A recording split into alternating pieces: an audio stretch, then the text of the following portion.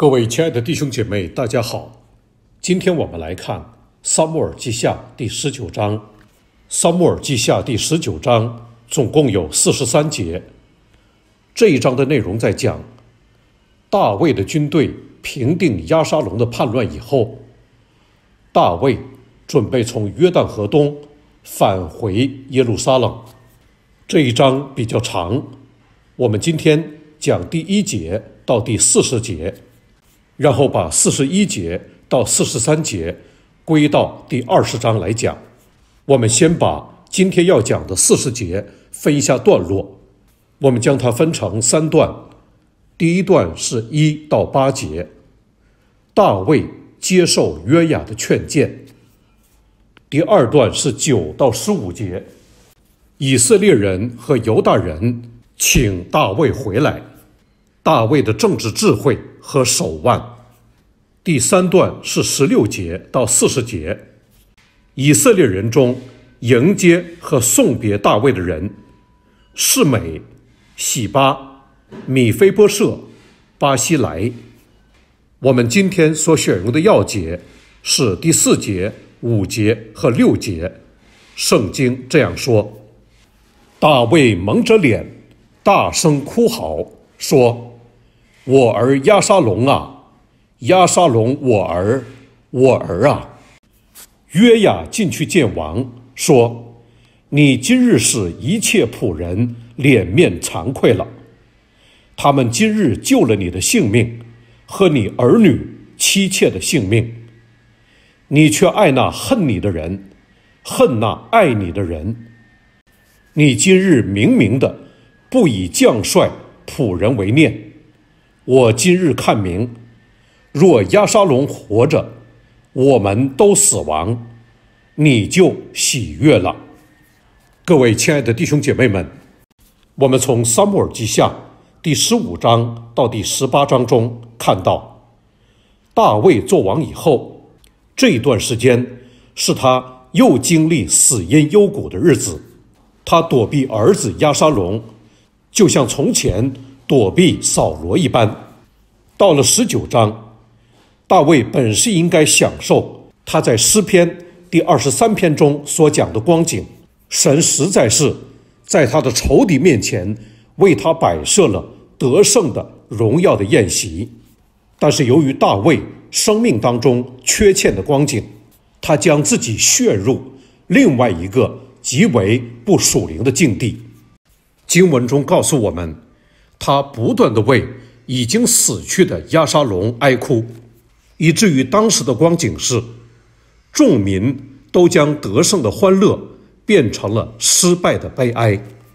大卫为自己已经死掉的叛逆之子亚沙龙不停的哀哭，对军队的打击非常大。元帅约雅意识到，整个以色列军中。士气已经非常低落，他们完全不能庆祝得胜的凯旋，反而是情绪低落的悄悄入城，就像从战场上撤下来的败兵一样。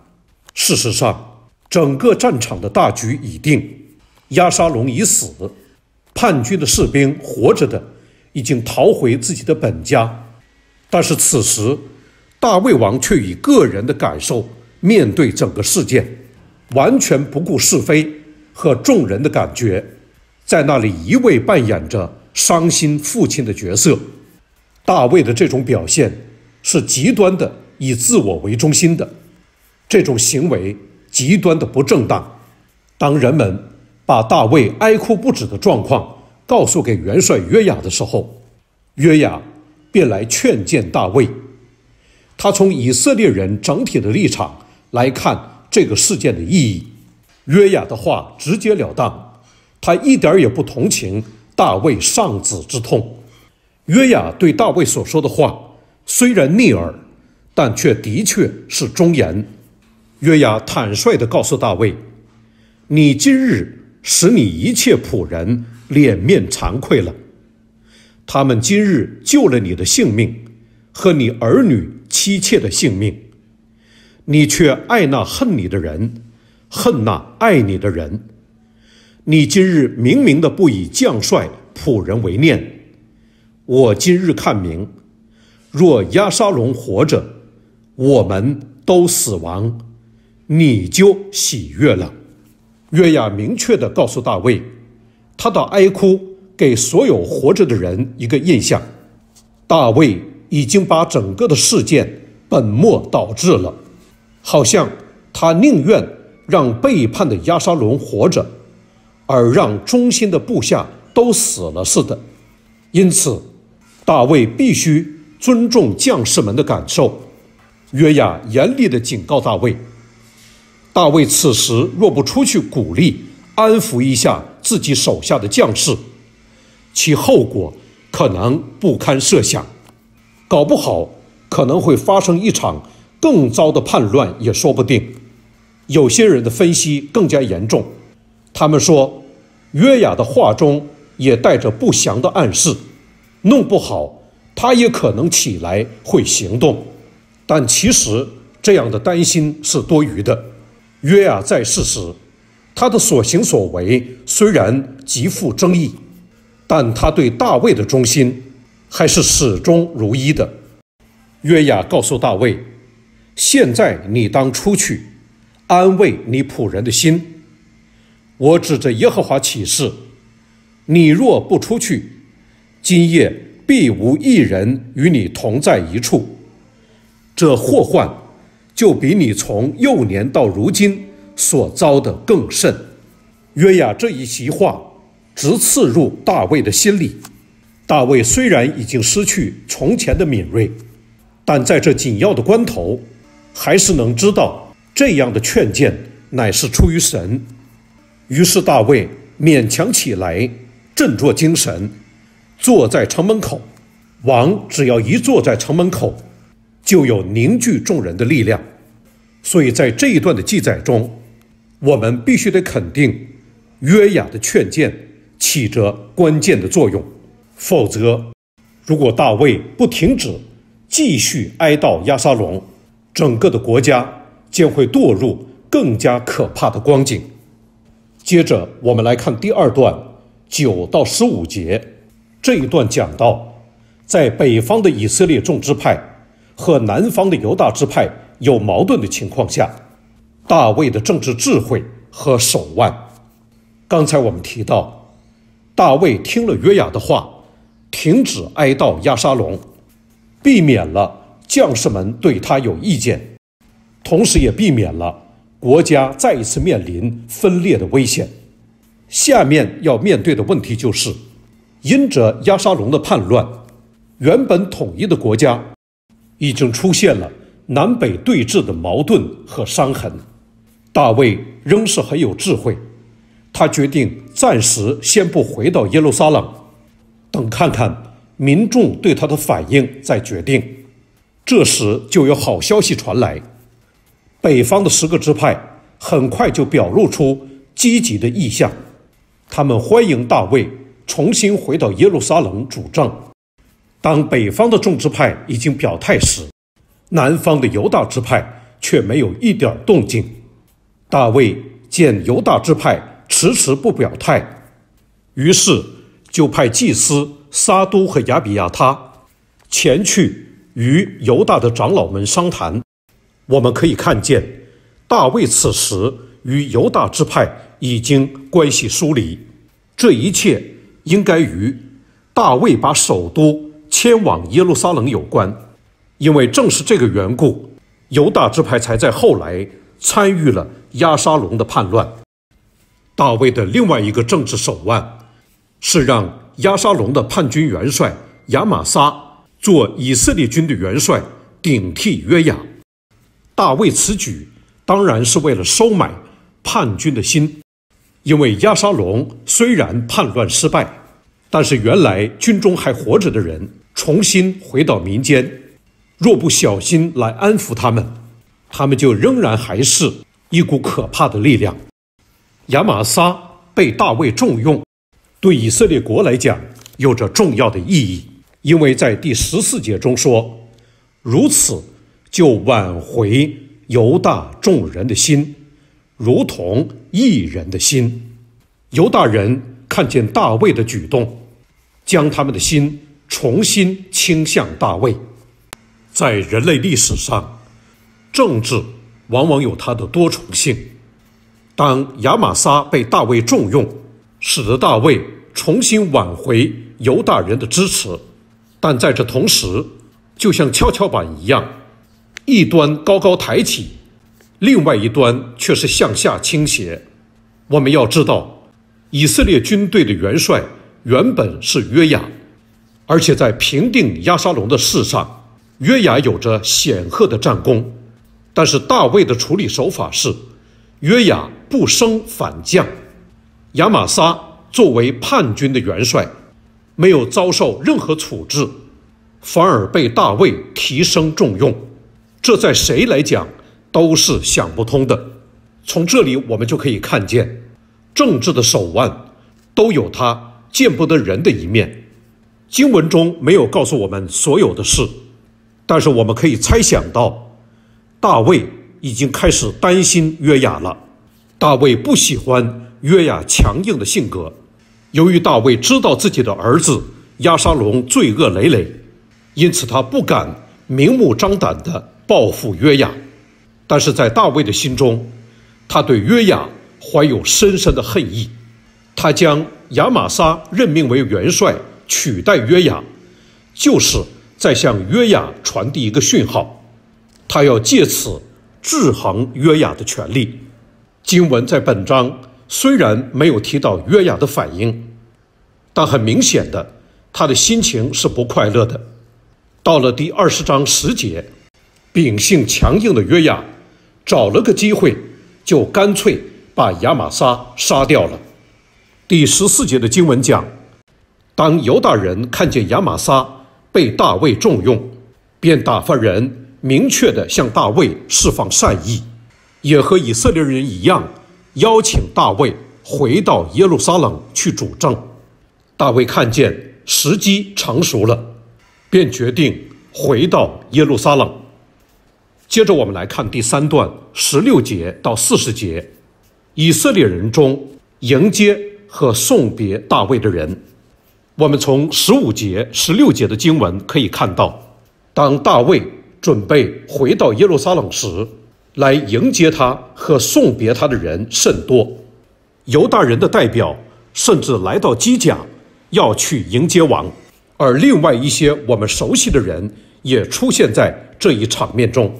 像十六章里面所提到的，扫罗家的仆人喜巴，扫罗族的世美，十六章提到但是没有出现的扫罗的孙子约拿丹的儿子米菲波设，还有十七章结尾的时候所提到的基列人巴西莱，在这一段中，请大家特别留意世美、喜巴、米菲波设和巴西莱。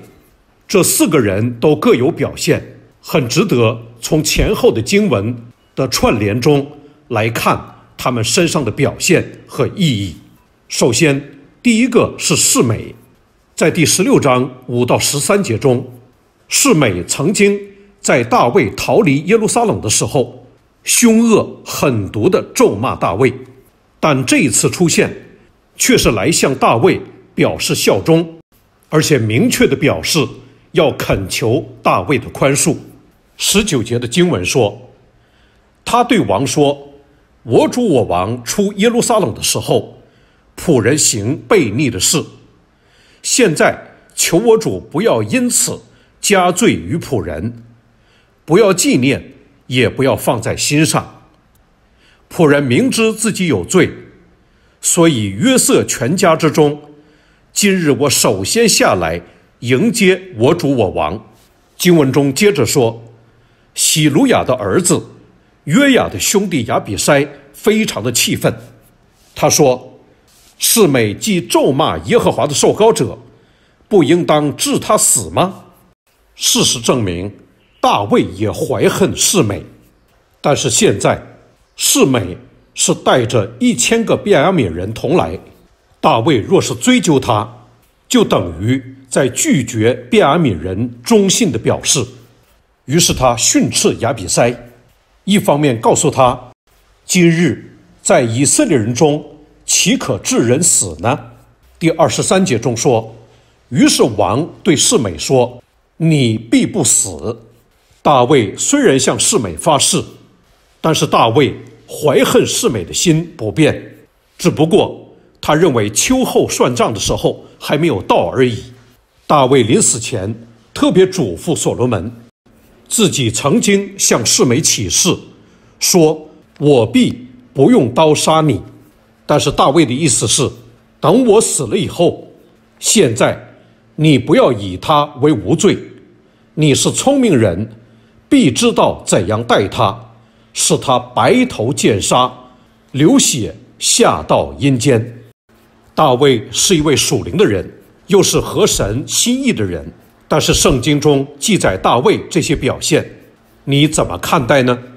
本章另外一个人物也很特别，他就是喜巴。喜巴为了博得大卫的欢心，带着他的十五个儿子、二十个仆人，趟过约旦河来迎接王。经文中对他们没有多做描述，但是这一家人人多势众，给人深刻的印象。二十四节到三十节出现了十六章当中提到但没有出现的约拿丹的儿子米菲波设。当米菲波设来到大卫王面前时，一副蓬头垢面的样子。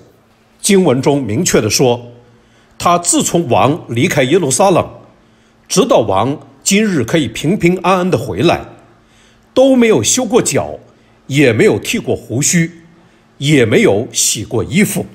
这一切细节都在显示他对大卫王的忠心。若是大卫有一日不归，他就会保持。这种邋遢的样子到底，但他这个样子一点都没有感动大卫。大卫的心早已经被喜巴的奸计所蒙骗。在大卫和米菲波设的谈话中显示，米菲波设非常的真诚，而大卫却极其的冷酷。大卫根本没有认真的听全米菲波设的话。大卫这一次也没有勇敢的来认自己的错误。二十九节告诉我们，大卫勉强地修正了一下当日所做的决定的错误，让喜巴与米菲波设均分财产。大卫很爱及到自己的面子，因为他若是将米菲波设的财产全都归还给他，就证明当日他完全错误了。我们明显看出，大卫在处理这个案件时十分的不公义。十分的不恰当，可相比而言，米菲波设的心倒是显得比大卫更加崇高和豁达。从二十五节到三十节，我们可以看到这一点。米菲波设向大卫解释，当日他没有与大卫同往，并非是有意复国，而是因为行动不便。二十六节说得非常清楚，那日。我想要备驴骑上与王同去，无奈我的仆人欺哄了我。二十七节又说，又在我主我王面前忏悔我。米菲波设表示，只要是王的决定，他完全都不介意。他谦卑地表示说：“然而我主我王如同神的使者一般，你看怎样好，就怎样行吧。”因为我主全家的人，在我主我王面前都算为死人，王却使仆人在王的席上同人吃饭。我现在向王还能办理诉冤吗？当大卫做了不恰当的处理，让米菲波设和喜巴均分地土，米菲波设最后对王说：“我主我王既平平安安的回宫。”就任凭喜巴都娶了也可以。由此我们可以看见，米菲波设真正所关注的，并非是财产的得失，他最在意的乃是王平安的回归。这样的一个人，他的居心是宝贵的。我们真心期盼，在那之后，大卫能够真心的待他。十九章中另外一个重要的人物。是给大卫送别的，他就是基列人巴西莱。基列人巴西莱此时已经是八十岁的老翁。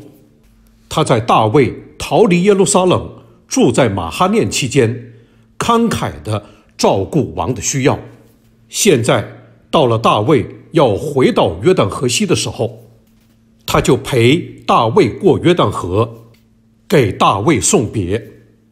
经文中显示，大卫十分喜欢这个老人，他希望他能够跟他同去，然后在耶路撒冷的宫中养他的老。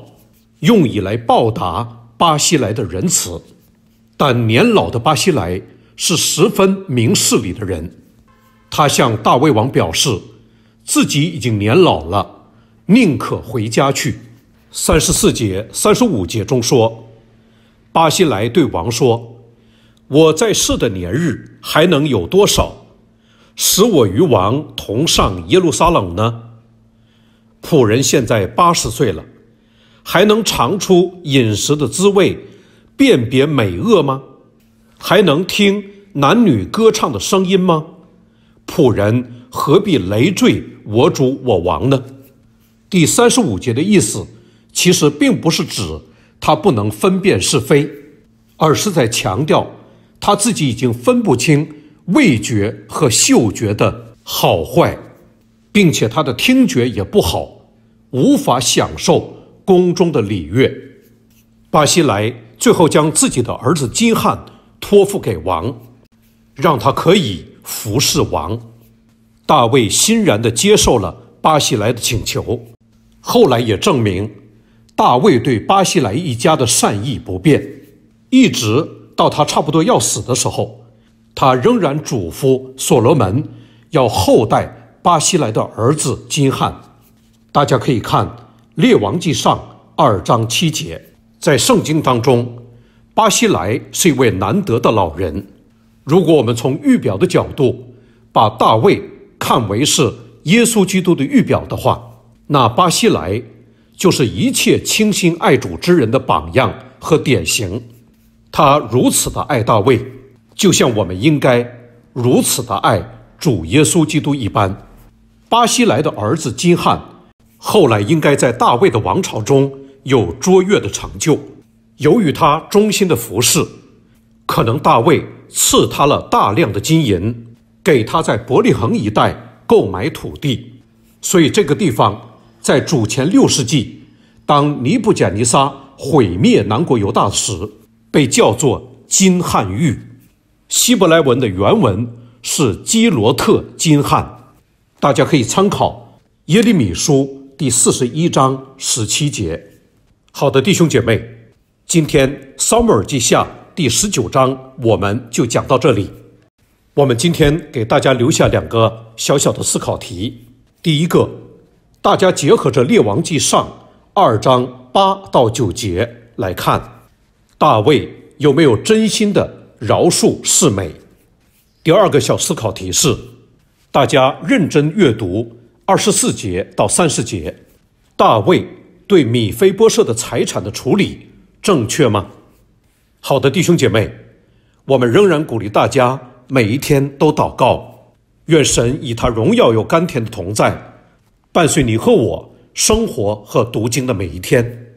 当我们在读圣经的时候，常常会读到各式各样类型的人物，圣经有的时候并没有评价他们。但是经文中已经透露出，他们身上的有些方面，我们是要拿来警惕、做教训的；而有些方面，是我们可以拿来做学习、做榜样的。愿我们的心能够一直被圣灵所光照并引导，也愿神的灵借着神的话语来塑造我们里面的生命，使我们在成长的历程当中，越加成为那陶主喜悦的人。爱你们。